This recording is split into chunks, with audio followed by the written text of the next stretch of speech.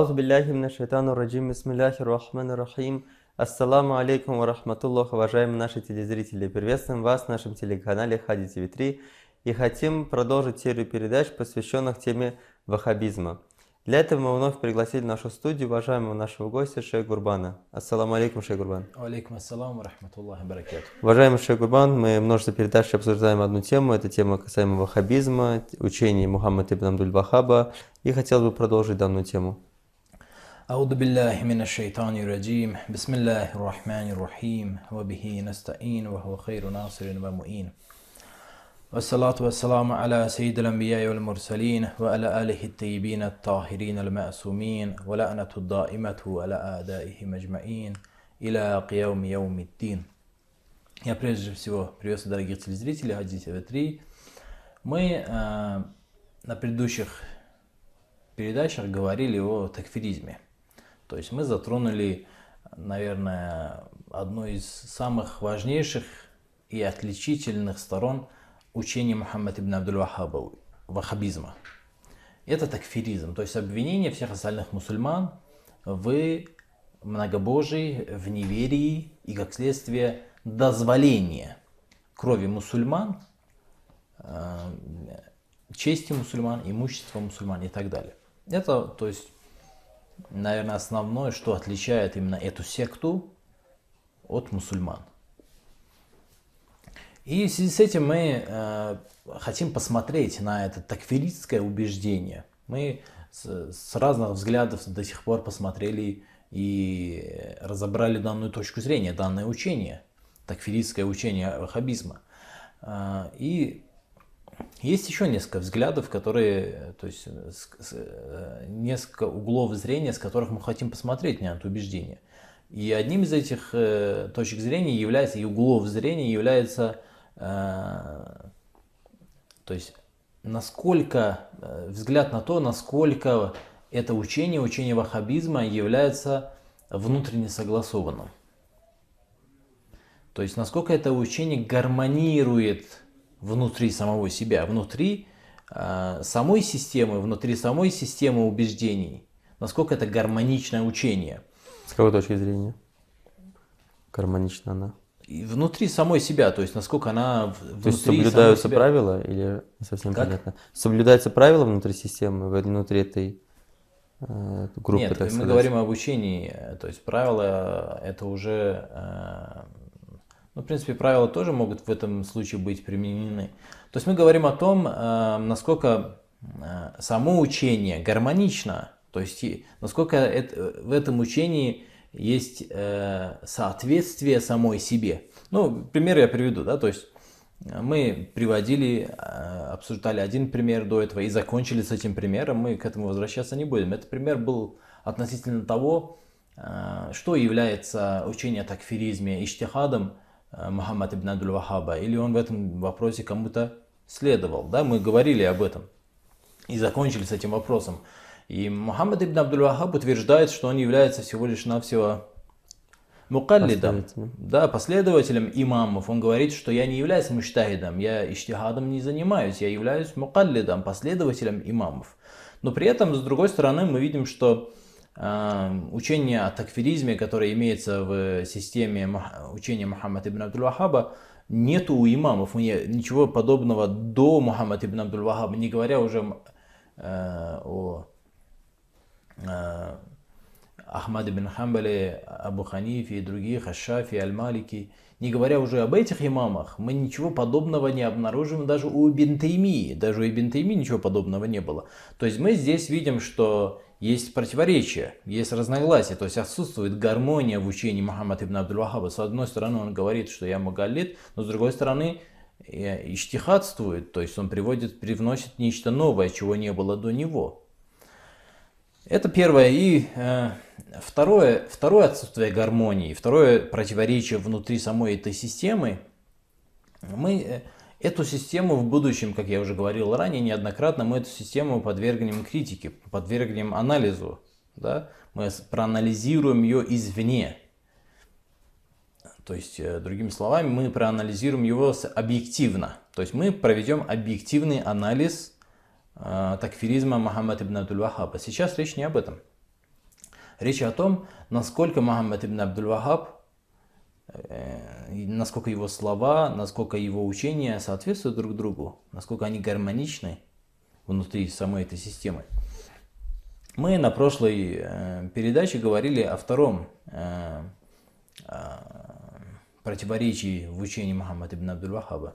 И это противоречие заключается в том, что с одной стороны Мухаммад ибн Абдул-Вахаб ясно и четко говорит, что истигаса является поклонением. Так он определяет, дает определение поклонению, говорит «Гаяту тадаллуль валь худу» или «хушу» и так далее. «Гаяту тадаллуль валь худу» То есть это апогей самоприниженности. Да? А, и это с одной стороны. То есть с одной стороны он говорит, что э, истихаса, например, да, мы при, то есть он при, перечисляет, мы цитировали его слова, перечисляет огромное множество видов поклонения, и сам он говорит, что видов поклонения огромное множество, примеров огромное множество. Истигаса, то есть крик о помощи, является одним из этих видов, мы просто взяли его как пример, чтобы ну, Э, не говорить о каждом из этих видов поклонения в отдельности, мы взяли всего лишь один пример и разбираем его. На примере истирасы он говорит, что это поклонение, истираса поклонение. То есть если человек кричит о помощи, другими словами, кричит о помощи э, к Богу, он поклоняется к Богу. Если он кричит о помощи другому человеку, он поклоняется этому человеку, да, то есть по его... Э, то есть позвать на помощь кого-либо это поклонение ему. Да, это то есть истираса, он в общем виде, он говорит, истираса это поклонение. Поэтому если человек э, кричит о помощи, он, он занимается поклонением. Крик о помощи, зов на помощь э, является поклонением. Это с одной стороны. Так? Но с другой стороны, вот что он говорит в, книге Кашфа Шубахат, мы это зачитывали ранее. Он говорит, э, он приводит э, предание, которое а, имеется в сборниках хадисов о том, что в судный день люди будут кричать о помощи и обращаясь к пророкам. В том числе и его светлости посланник Аллаха, саллаллаху алейхи вассалям. Он говорит, فإن الاستغاثة بالمخلوق فيما يقدر عليه لا ننكرها. Он говорит, ну да, говорит, это в судный день люди будут обращаться с криком о помощи к пророкам. И люди говорят, а разве это не поклонение? Значит, в судный день будут люди опять мыши, э, многобожие совершать. Это же невозможно, чтобы многобожие человек совершает здесь, в судный день. Человек не совершает многобожие. Если э, истираса, крик о помощи является э, поклонением, значит, в судный день тоже люди будут делать многобожием заниматься, поклоняться, передавать Богу сотоварищей. Он говорит, нет, нет, нет, он с этим не согласен, Почему говорит фа'инна листигасата биль махлук фима якдиру алейхи ла нункируха? То есть зов о помощи к творению, зов о помощи к творению в тех вопросах, в которых это творение обладает возможностью помочь ему, в этих вопросах э, этот зов не является поклонением. То есть тех вопросах, в которых творение может помочь зовущему на помощь, кричащему о помощи, в тех вопросах, в которых он может помочь, в этих вопросах крик и зов не являются поклонением. Да? Но здесь, ясно, здесь есть ясное и недвусмысленное противоречие. В чем это противоречие заключается? С одной стороны, Мухаммад ибн Абдул-Вахаб говорит о том, что истигаса, он не говорит истигаса в таких-то вопросах или в таких-то вопросах к такому-то или такому-то. Он просто, он говорит, что поклонение это валь худу. Так? Он, он так определяет э, поклонение. Он говорит, поклонение это апогей самоприниженности. Когда его спрашивают, а какие примеры есть э, апогея самоприниженности, он говорит, э, допустим, аль-истигаса, аль-истиана, дуа то есть он причисляет также и истигаса, и другие виды. Опять-таки, истигаса, я повторяюсь, это всего лишь пример. Мы можем любой из этих видов Может, поклонения взять. ответил на вопрос, а потом просто разъяснил в другой книге. Э, такое может быть предположение. Допустим, он сказал истигаса. Какой именно истигас он объяснил Кашву Шибахат в книге? Да, то есть э, мы можем это самое... Как оправдание. То есть, ну, во-первых, начнем с того, что мы можем здесь предположить, да, несколько вариантов. Ну, мы на прошлой передаче говорили о том, что мы можем попытаться его оправдать, в принципе, здесь это возможно, да, каких-то мерах. С одной стороны, мы можем, то есть мы озвучили два оправдания возможных, которые здесь имеют место, могли бы быть, да. Это, во-первых, то, что он, ну, когда говорит истирас, он не имеет в виду любой истираса. Он имеет в виду истираса к Аллаху. Истираса к Богу является поклонением, а истирас не к Богу не является поклонением, да, ну, тогда это смысл, смысл теряет, то есть, ну, обвинять человека, мусульманина в ширке, в многобожии, на этом основании не получится. Правильно? Это во-первых. Во-вторых, когда его спрашивают, а что такое ибада, он дает такое определение, он такое определение дает, под которое попадает в том числе зов о помощи к человеку в тех вопросах, в которых он может помочь. Ну, допустим, представьте себе, человек э, окружен врагами, так? Он попал в беду, его окружило пять человек, и вот-вот его сейчас лишат жизни, так? Такую ситуацию представили? Мимо проходит какой-то другой человек – ну, допустим, человек, который имеет возможность ему помочь. Он на машине, или у него есть оружие, или, или допустим, людей много там, ну, больше, чем его врагов, да, которые могут ему помочь и разогнать его врагов и спасти его жизнь, так?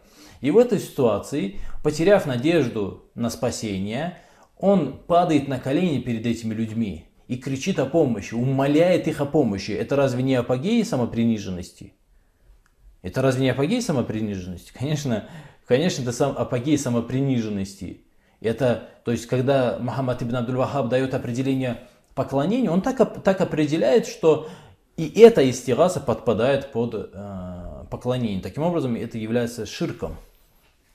Да, и я не говорю о ну, мы некоторых вопросов касались на прошлой передаче, я просто сейчас повторяюсь. Э, он во-первых, когда определяет э, то есть поклонение, он говорит э, таким образом, что все виды из террасы попадают под это под определение поклонения. Когда он говорит истираса является поклонением, он опять-таки не подчеркивает, какой из видов. И это, в принципе, и это во-вторых. В-третьих, те доводы, которые он приводит, чтобы доказать, что? Чтобы доказать, что... Ширком является. Да, истилас является ширком, если ты обращаешься к творению. Эти, эти доводы, если их понимать так, как понимает Мухаммад ибн Абдул Вахаб, они, то есть, они свидетельствуют и говорят о том, что это поклонение, истираса поклонение даже в том случае, когда ты просишь э, творения в тех вопросах, в которых он способен тебе помочь. То есть э, эти доводы запрещают это стираса. Да? А Мухаммад ибн Абдул что говорит? Мы, говорит, не отрицаем лянун кируха, мы эти виды истирасы не отрицаем, так когда человек обращается к творению, которое способно ему помочь. А те доводы, которые он приводит, э, когда обвиняет мусульман в ширке, мы посмотрим на эти доводы, а почему по этим доводам должно быть запрещено?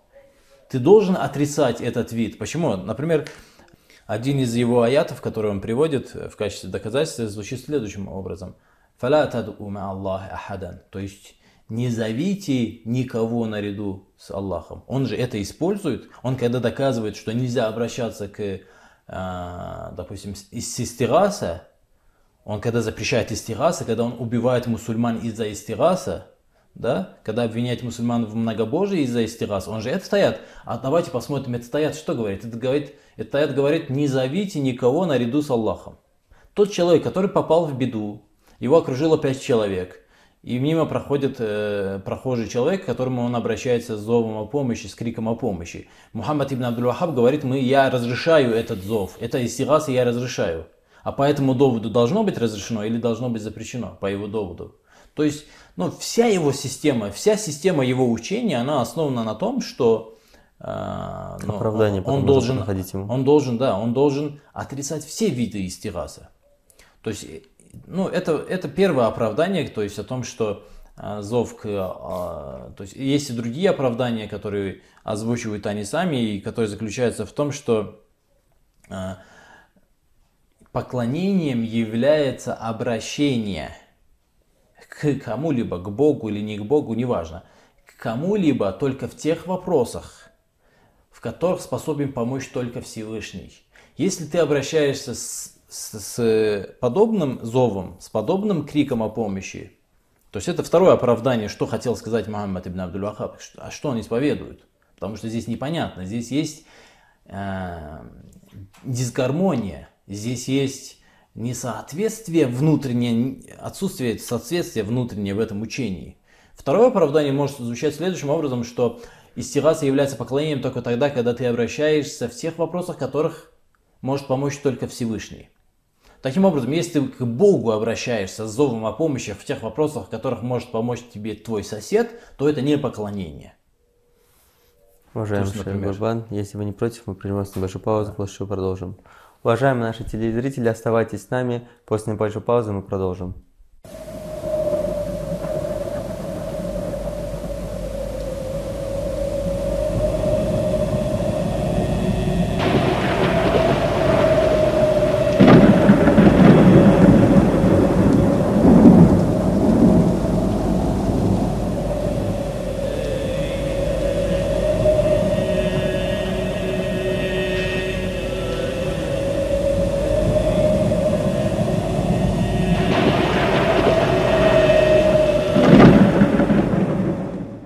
Уважаемые наши телезрители, мы прерывались на паузу, до которой говорили о учениях Мухаммад ибн Абдуль Вахаба. Уважаемый шейх Гурбан, вы говорили о том, что есть несоответствие в их учениях. В одном месте он говорит, что звать на помощь это поклонение, э, и это ширк. В другом месте он говорит, нет, если вы просите у творения то, что они могут вам э, сделать, то это не является поклонением. Вот это противоречие да, то есть, мы ну, обсуждали. Здесь, есть, здесь, да, есть второе оправдание его. А вот вы в начале передачи сказали, что есть э, гармония. Что вы имели в виду, если тут наоборот идет? Я не говорил, есть ли гармония. Я говорю, что посмотрим, есть ли она.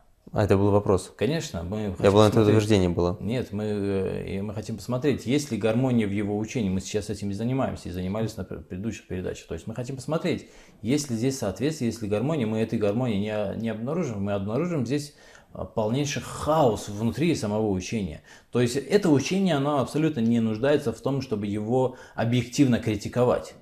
Объективной критики она не нуждается, то есть нет никакой необходимости к объективной критике. Почему? Потому что если подходить исключительно с точки зрения самого учения, чисто субъективно, да, то есть взять само учение и посмотреть э, взглядом этого учения на эту систему координат, которую он установил, да, Мухаммад ибн Абдул Вахаб, то здесь нет каких-то четких позиций. Нету четких позиций. Нету четкого, понятного, изложенного, логически э, связанного между собой учения. Оно вообще архаично.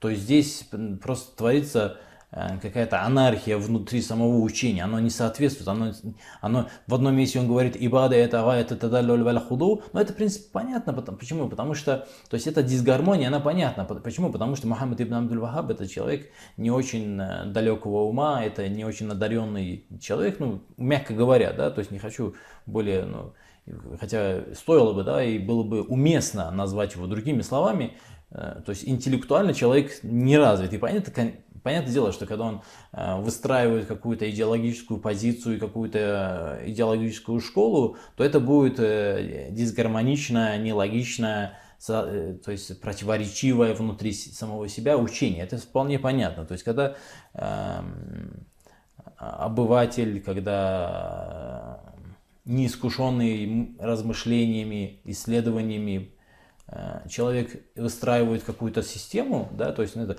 допустим, если мы возьмем какого-нибудь почтальона, который, ну, просто почтальон всю жизнь занимался почтой, или возьмем какого-нибудь тракториста, возьмем торговца, который в ларьке работает, возьмем просто какого-нибудь, допустим, предпринимателя, который просто умеет считать деньги и все, больше ничем никогда не занимался. Если мы возьмем и дадим ему какие-то философские вопросы, чтобы он их разработал, мы получим полную ерунду. То есть это будет просто дисгармоничная, нелогичная, просто ерунда, абсолютно непонятная вообще, то есть еще где, то есть где начало, где конец. Да, где начало, где конец.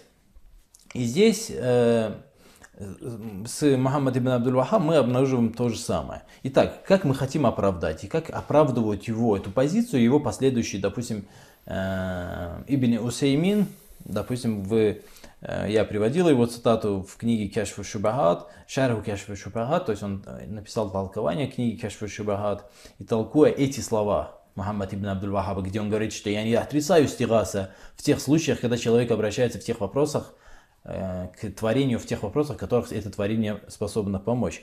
И толкуя, толкуя э, эту, э, эту позицию, эти слова, Ибн Сумин говорит следующее. Аль-истигата биль-ахья, аль-алимин, аль-кадирин, аль-игасати бихада джаизун каль-истианати бихим.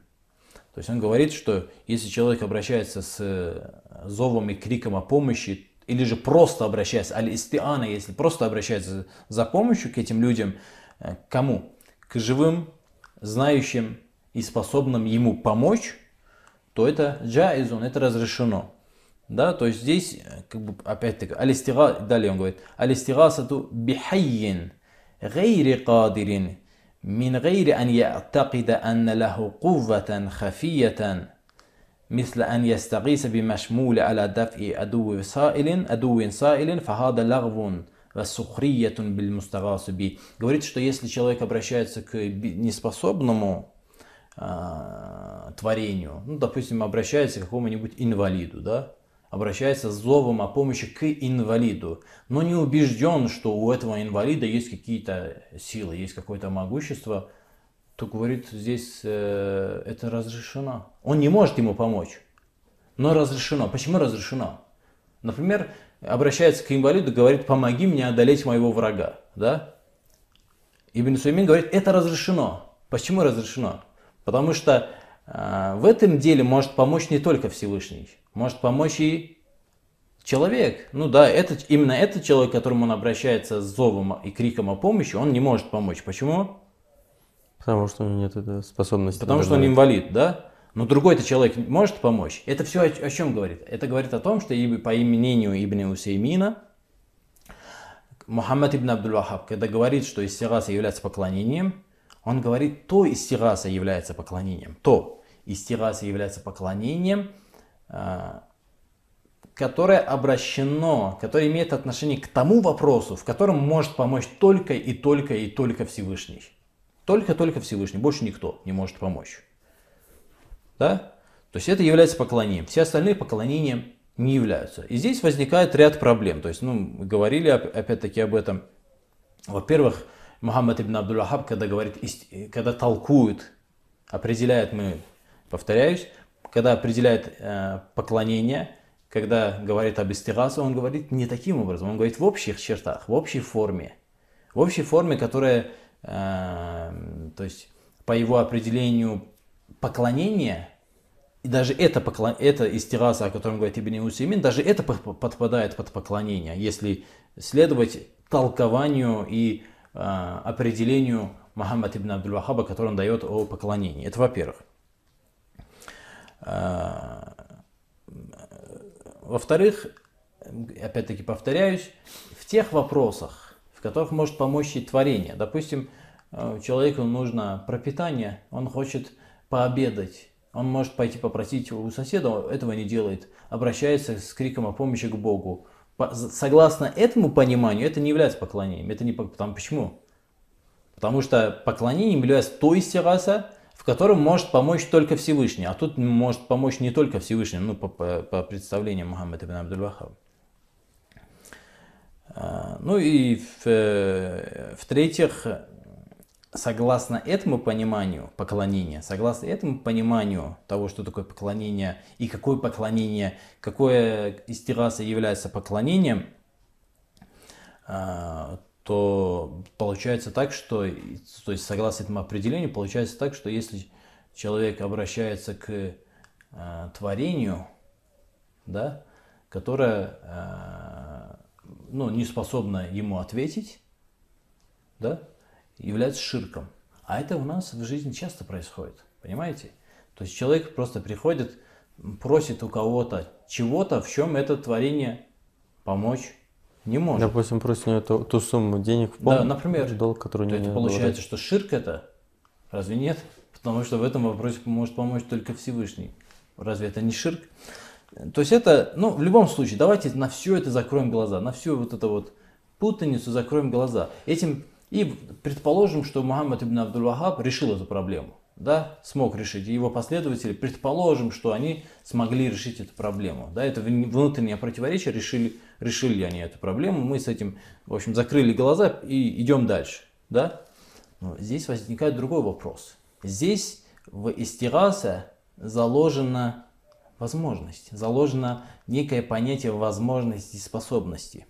Да? Разве не так? То есть он говорит, то есть раса, в котором может помочь только Всевышний, является поклонением, а то есть раса, в котором может помочь и творение, это поклонением не является. Да? Давайте разберем это, это понятие и это слово может помочь, не может помочь. Есть возможность, нет возможности. Способен, не способен. Эту способность разберем. Что значит вообще, где границы способности, кто определяет, как определяет, что такое способность и неспособность что есть возможность, что есть отсутствие возможности. Да? Мы хотим посмотреть, а, то есть а, в этом вопросе, как Мухаммад ибн Абдул-Вахаб этот вопрос решает. Да? И здесь, как бы он ни решил, на самом деле, наша дальнейшая критика, она будет уместна в любом случае, как бы он эту, это, этот вопрос не решил. Как бы он ни решил, критика уместна. Поэтому здесь большой разницы не имеет, как он это решит, да, как он поставит. Ну вот как он и решает, да, как, ну казалось бы, да. А, вот в книге Муфидуль Мустафид фи куфри тарик таухид он на странице 296, он говорит следующее. Вамин анваи хада ширк, он говорит, одним из видов ширка, да, является талабуль хаваидж мин аль является обращение за помощью к мертвому. То есть одним из видов ширка является обращение к мертвому. Валь истига э, также является крик о помощи к, мертв, к мертвым. И обращение к ним. То есть, когда человек свой взор, свое, свой лик обращает к мертвым. Это, то есть, ширк. Вахада аслу ширкиль алям. Он говорит, это основа того, что весь мир совершает многобожие. Все многобожие в этом мире заключено именно в этом. В чем заключено? В том, что человек обращается за помощью, с криком о помощи, с зовом о помощи к мертвому. Вот, вот проблема человечества, он говорит. Хада аслу ширкиль алям этот мир, то есть э, проблема и то болото, в котором застрял этот мир, заключается в том, что люди обращаются к мертвым за помощью, с криком о помощи, с зовом о помощи. Уважаемый Шейх Гурбан, наша передача подошла к концу. Если вы хотите, мы можем на следующей передаче продолжить. Да-да, я сейчас закончу буквально. А, да, и это э, он далее говорит, فَإِنَّ الْمَيِّتَ قَدْ إِنْقَتَعَ أَمَلُهُ то есть э, мертвый, он не может что-либо совершать, он больше никаких действий не совершает. Обратите внимание, мертвый не может помочь себе и не может навредить себе. Мертвый не может себе помочь или навредить. Он, все, у него больше нет никаких действий. Да? Вывод. Мухаммад ибн Абдул-Вахаб признаком возможности и отсутствия возможности, могущества и отсутствия могущества – понимает, то есть определяет, живой человек или не живой. То есть если человек живой, то он может тебе помочь.